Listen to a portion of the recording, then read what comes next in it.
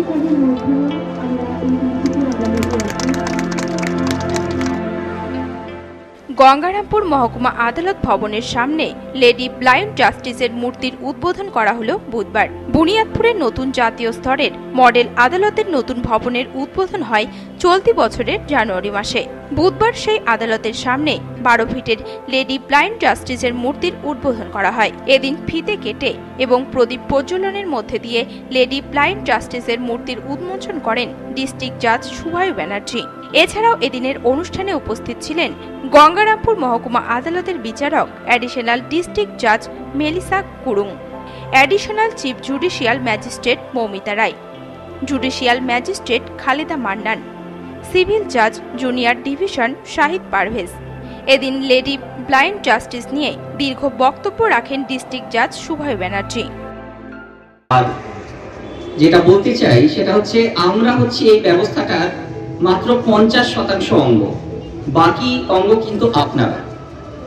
আজকে এই যে ব্লাইন্ড লেডি জাস্টিস, যে কথাটা আমরা এখানে বলি, তার সামনে দাঁড়িয়ে অন্তত এই অঙ্গীকার যেন আমরা সবাই করতে পারি, যে এই বিচারক এবং যারা আইনজীবী, যারা মাননীয় আইনজীবী এবং মাননীয় বিচারক আছেন, তাদের মানে ভেতরে যে সম্পর্ক, সেখানে যেন সৌহার্দ্যের যে বাতাবরণটা, সেই বাতাবরণটা সবসময় বজায় থাকে।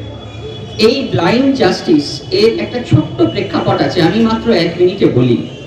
বহুদিন আগে এই জাস্টিস কথাটা সঠিকভাবে উচ্চারিত হতো না, হতো লাস্টিস লাস্টিসিয়া সেখান থেকে আসে জাস্টিসিয়া রোমে এই কথাটির উদ্ভব হয়।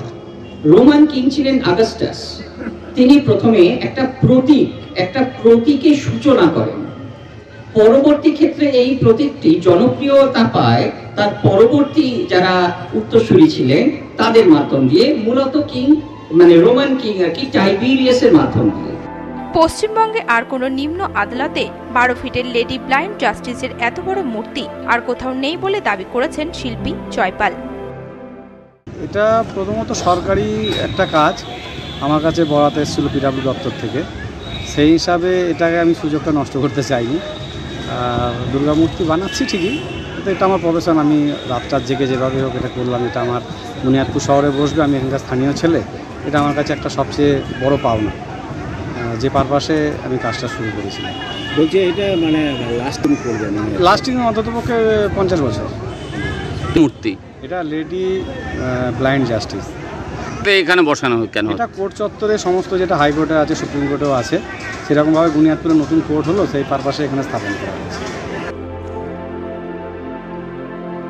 বুনিয়াদপুর থেকে শান্তনু মিস্ত্রের রিপোর্ট নিউজ টুডে।